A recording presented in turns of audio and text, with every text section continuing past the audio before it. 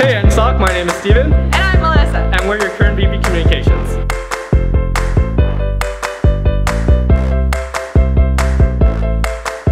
So as engineering students, you guys are allowed to apply to attend conferences that happen all across Canada. The Canadian Federation of Engineering Students, or the CFES, is our national governing body, and right now we're at their Congress meeting hosted by the University of Western in London. So over the course of this video, you'll get to see what conferences are about and see why you should apply to attend future conferences. We hope you enjoy!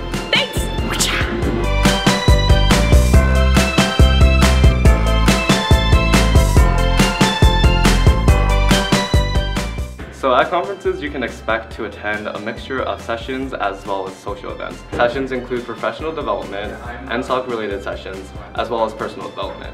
And social events can be anywhere from bowling to skating to whatever is available in the host city of the conference. Let's go take a look at some sessions.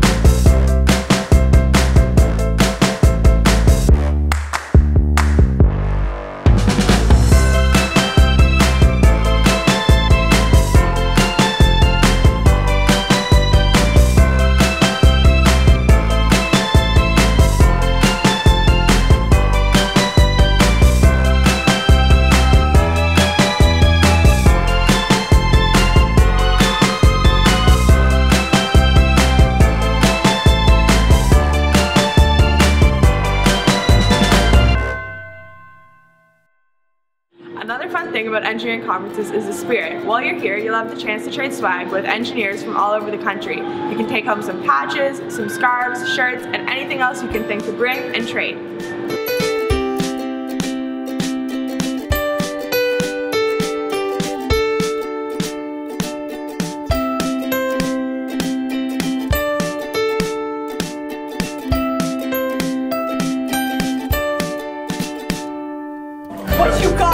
You got? I got these. What you got? I got oh, these, oh. Oh, I got these.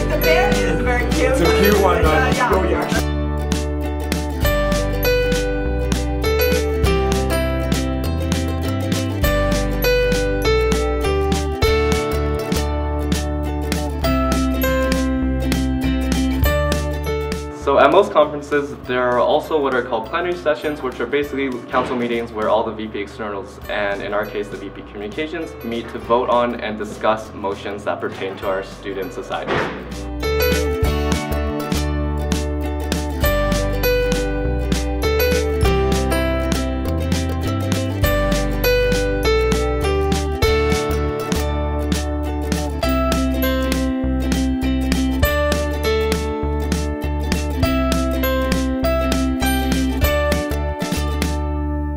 If you're thinking that these conferences sound like a lot of fun and I want to attend and learn something too, well, we definitely think you should. You can find us on Facebook for more information, subscribe to our mailing list to always stay in touch with the latest updates, and check out our website. If you want to hear this whole thing in person about why we really think you should come, you can find us at Engineering Society meetings or in the Engineering Society office in CPH. Thanks!